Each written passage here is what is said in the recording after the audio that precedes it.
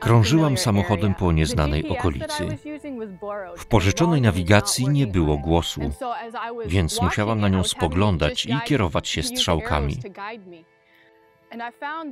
Przecznice były bardzo blisko siebie i czasami nie do końca wiedziałam, w którą skręcić. Czas uciekał, a ja wciąż natrafiałam na zmiany organizacji ruchu.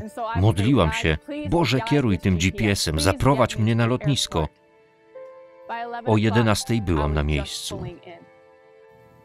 W ziemskiej podróży jednym z największych darów od Boga jest Duch Święty. Po drodze, w ciągu dnia, przypomina mi pieśni, teksty biblijne i zdarzenia lub rozmowy, które dodają mi otuchy, wzmacniają mnie, przekonują lub pozwalają lepiej zrozumieć miłość Boga do mnie i do moich bliźnich. Bóg czyni mnie podobną do Jezusa. Z natury jestem nieśmiała. Cenię to, że pokazuje mi, co Bóg chciałby, abym powiedziała lub zrobiła. Najbardziej jestem mu wdzięczna za to, że gdy schodzę na złą drogę, On otwiera moje oczy, przekonuje mnie i wskazuje dobrą drogę. Dzięki temu jestem przekonana, że pewnego dnia doprowadzi mnie do niebiańskiego celu podróży.